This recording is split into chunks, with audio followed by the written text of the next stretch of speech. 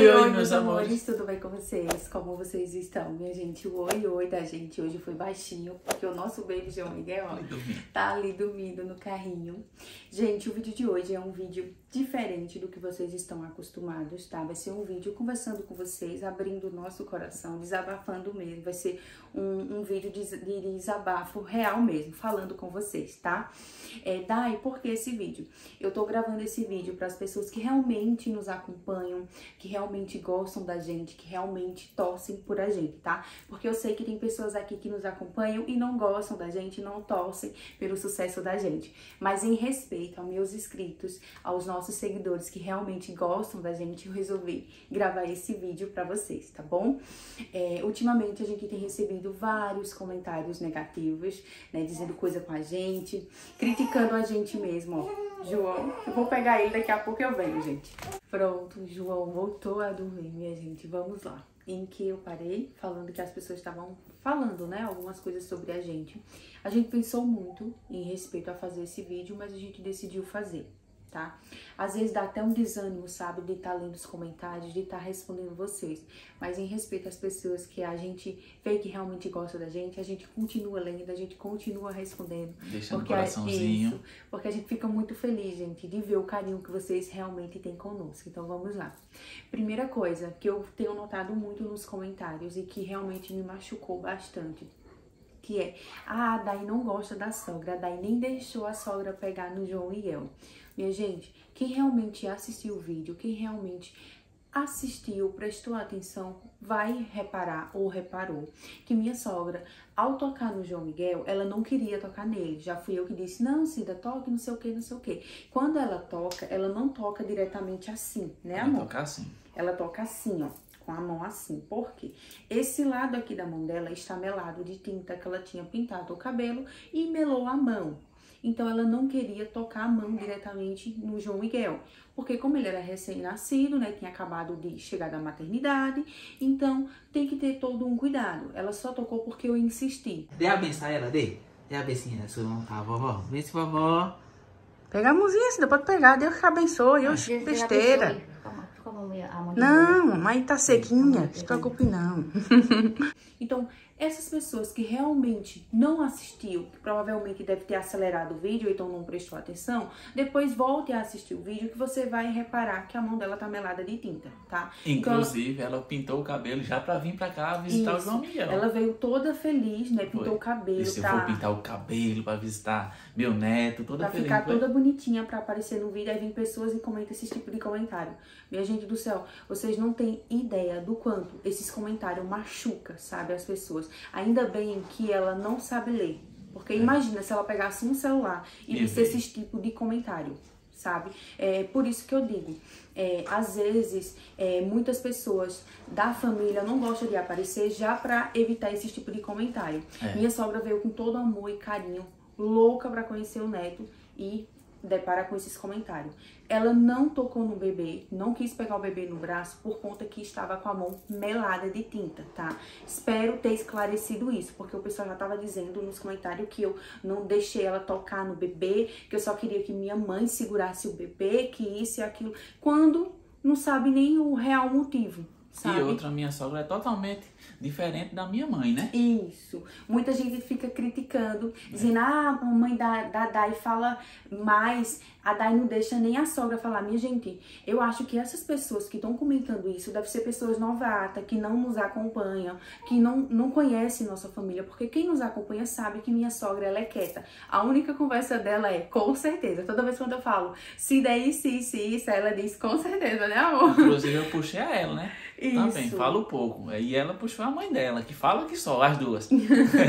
é, inclusive, teve até escrita já que comentou, Dai, antes de sua sogra abrir a boca, a gente já sabe a resposta é. dela. É com certeza. Porque minha sogra, minha gente, ela é mais na dela, ela é quieta, ela não é de falar. Ela não gosta desse mundo da internet, desse negócio de gravar. Ela não, não gosta. Ela grava porque é para agradar a gente, entendeu? Mas ela não é igual a minha mãe. Minha mãe é uma pessoa extrovertida, é alegre. Eu puxei a ela. Eu falo muito, porque eu puxei a minha mãe. Mozão, ele veio se soltar um tempo desse. Se vocês, realmente, as pessoas que nos acompanham sabem que no começo o Mozão começo mal mesmo. falava, Mozão mal abria a boca, ele veio se soltar esse tempo, sabe? Agora, mas antes Mozão não falava nada, era só é.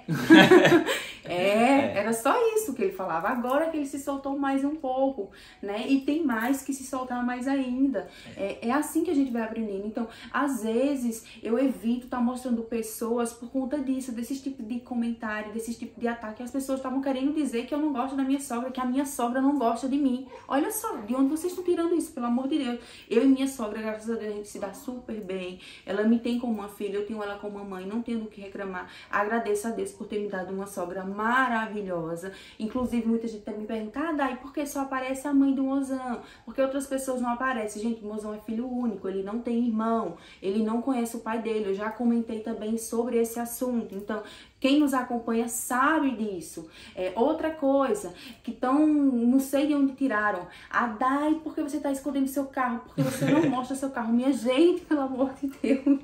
De onde vocês estão tirando isso? A gente nem garagem tem. A nossa casa nem é murada, nem garagem tem. É. A moto da gente já fica dentro, dentro de, casa. de, casa. Quem nos acompanha sabe. A gente tá botando o carro onde? Em cima do telhado? Ou é. dentro de casa? Minha gente do céu, pelo amor de Deus, a gente não tem carro. Quando a gente tiver o nosso carrinho, vocês podem ter certeza que a gente vai ser o primeiro a trazer aqui, porque vai ser uma conquista. A gente fica feliz em mostrar um alfinete quando a gente conquista, né, amor? Imagina uma conquista desse tamanho. Então... E quando a gente tiver, vai ficar mais fácil pra gente viajar, mostrar novos conteúdos para vocês passear. E agora Isso. com o João Miguel, a gente. Aí é que vai ser melhor Oxe, ainda, né, amor? A gente tá querendo viajar pra onde? Pra Juazeiro. Isso. Infelizmente, a gente não pode porque a gente não tem um carrinho, sabe? É. Queria muito, gente, ter um carrinho pra poder a gente passear. Mas vocês sabem que carro é, não é barato. Um carro hoje em dia tá caríssimo. É, não só o carro, né? Mas também pra manter, porque ó, um seguro não é barato. Um IPVA. Um IPVA não é barato.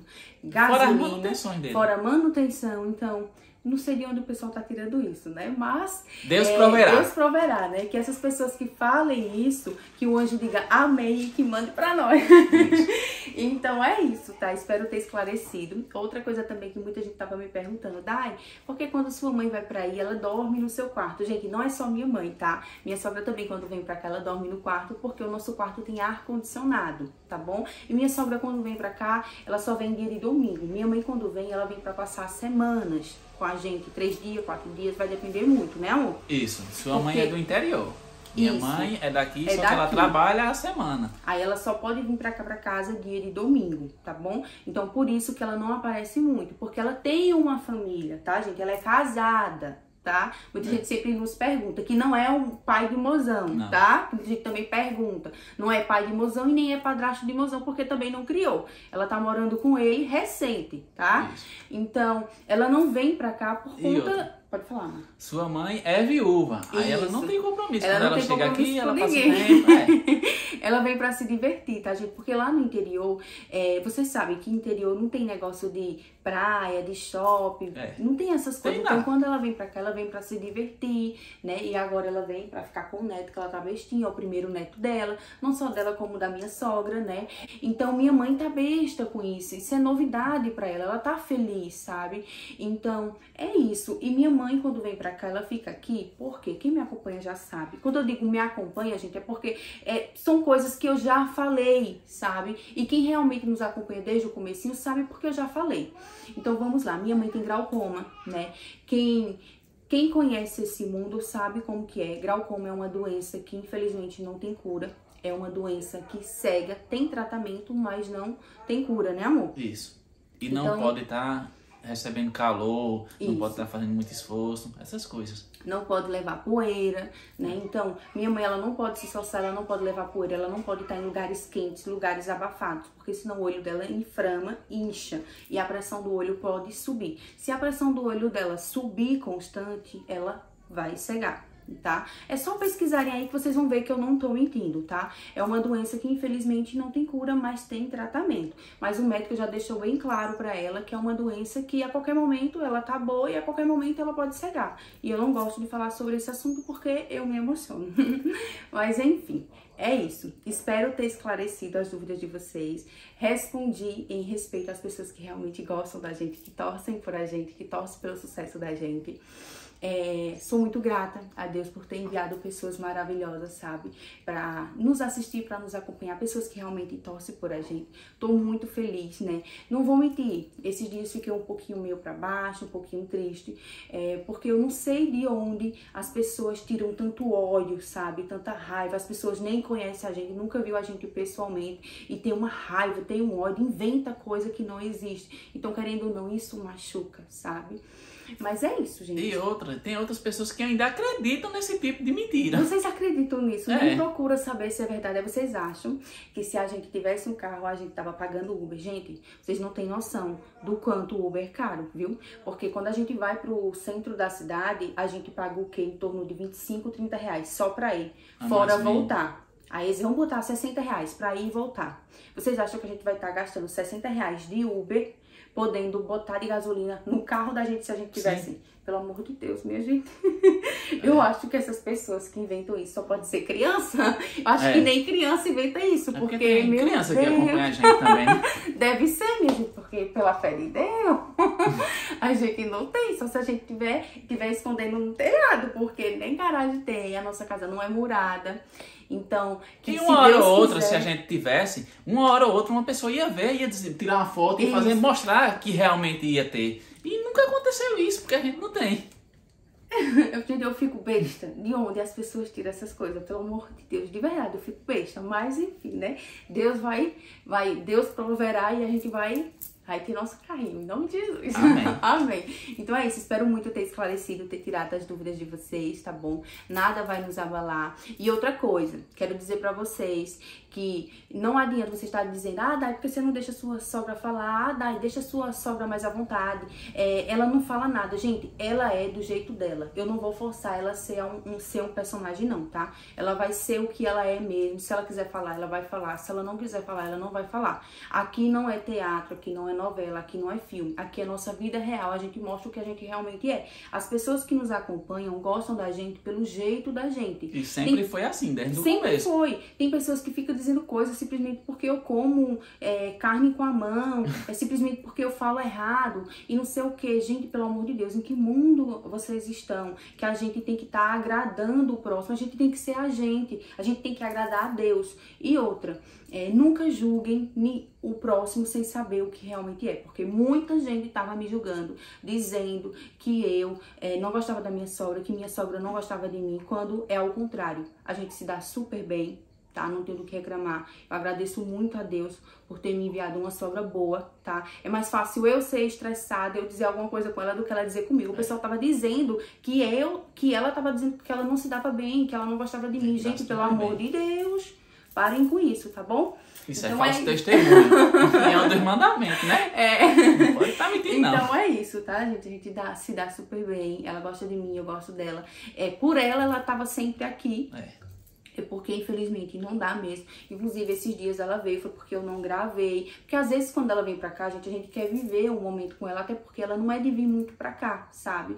Porque ela tem a vida dela, tem a rotina dela. Então quando ela vem, a gente aproveita, mozão sai para comprar um galeto pra gente fazer um almocinho diferente, sabe? A gente aproveita mesmo. Ela gosta de andar, ela gosta de conversar com o filho, até porque é o único filho dela. Então quando ela vem, às vezes a gente aproveita mesmo. Aí de vez em quando é que eu gravo, tá? E é isso né, amor? É isso mesmo.